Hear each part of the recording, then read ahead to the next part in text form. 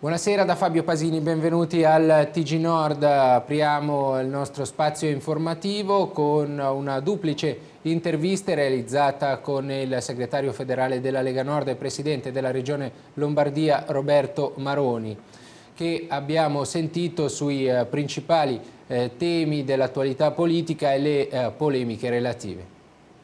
Con Letta vi siete sentiti l'Expo a rischio?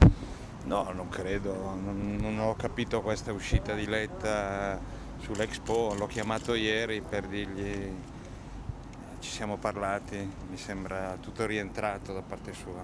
Sono, È stata sono... una scivolata, eh, anche a lui capita. Un avvertimento mafioso come ha detto no, qualche leghista? ma no, una scivolata.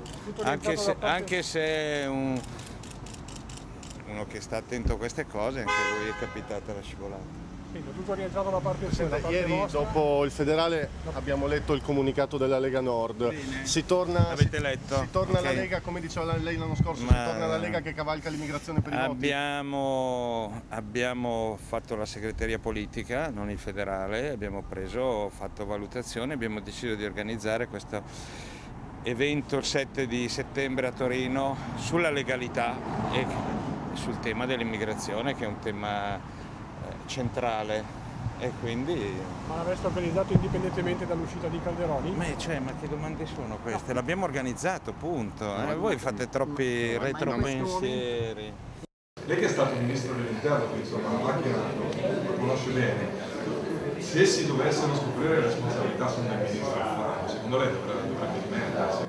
Io non faccio valutazioni, dico solo da ministro dell'interno, da ex ministro dell'interno che casi del genere eh, erano sempre gestiti dalla struttura con il coinvolgimento di tutti e anche ovviamente del Ministro, quindi sono curioso di sapere e di capire cosa è successo perché mi pare che il governo abbia detto che non era informato. Mi pare difficile che un'operazione così complessa, così rapida e così spettacolare sia stata fatta senza che il governo fosse informato. Io penso che il governo sapesse e abbiamo chiesto informazioni anche su questo atteggiamento del Ministero degli Esteri, di questi funzionari del Ministero degli Esteri che avrebbero detto di non sapere dello status diplomatico, di protezione diplomatica della signora. Ecco, ci sono tanti misteri che vanno chiariti, ma penso che in questi giorni saranno chiariti.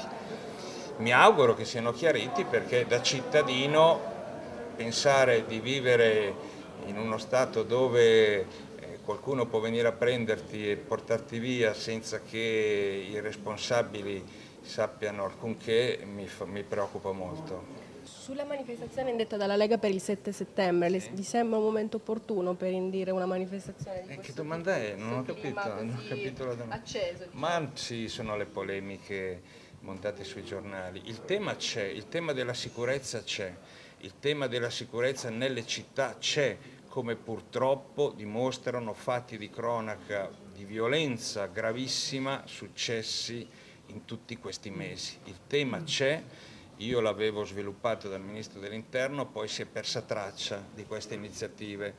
Il tema c'è, il tema del contrasto all'immigrazione clandestina c'è, visti gli sbarchi che continuano a susseguirsi, il tema del uh, come regolamentare eh, la cittadinanza c'è, visto l'insistenza con cui il governo e non solo il governo parla di cittadinanza subito, ius soli, e sono tutti temi di stretta attualità che hanno un impatto diretto sulla sicurezza dei cittadini. Quindi è assolutamente utile fare un appunto su questo tema e noi lo faremo il 7 di settembre, assolutamente opportuno e utile. Jussoli assolutamente no in nessuna forma. Siamo nettamente contrari, l'abbiamo sempre detto, anche il ministro Chienghe adesso ci sta ripensando perché ha detto Jussoli temperato. No? Cioè non più, come diceva prima, chi nasce in Italia avrà la cittadinanza automatica, ma qualcosa del genere.